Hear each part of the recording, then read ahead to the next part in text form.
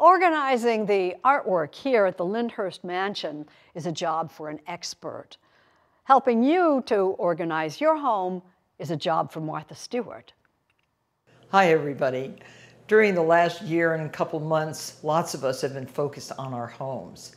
This kitchen was in dire need of renovation.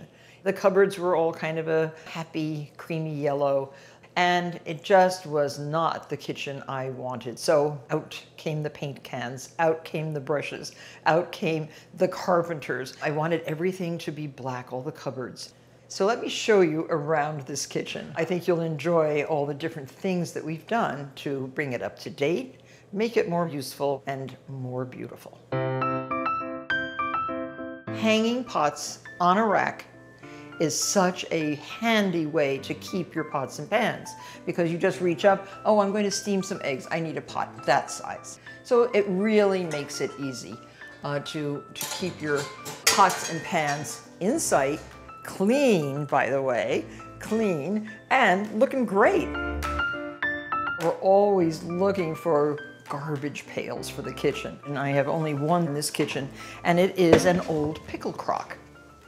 And the drawers, of course, are hopefully Martha neat.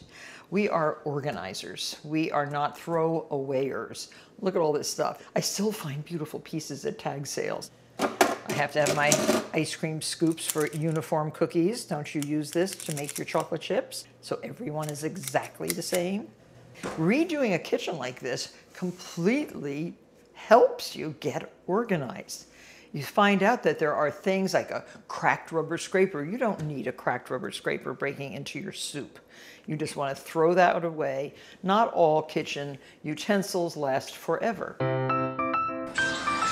Another organizational tip for all of you is to make a knife drawer and you start with small and get to larger, larger, larger. Don't forget your serrated knives for bread. These are so great. This cork liner is such a good idea.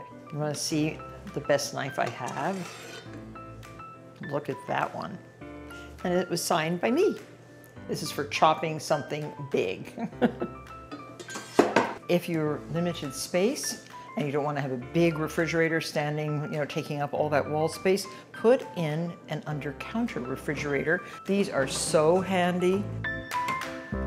Another nice thing to do to keep your pantries looking organized and keep your groceries a little bit fresher is to, I call it decanting, but it's really putting it from plastic bags, this is rice, into a nice container like this, which is 100% reusable, tight fitting lid. So then this goes right into your pantry.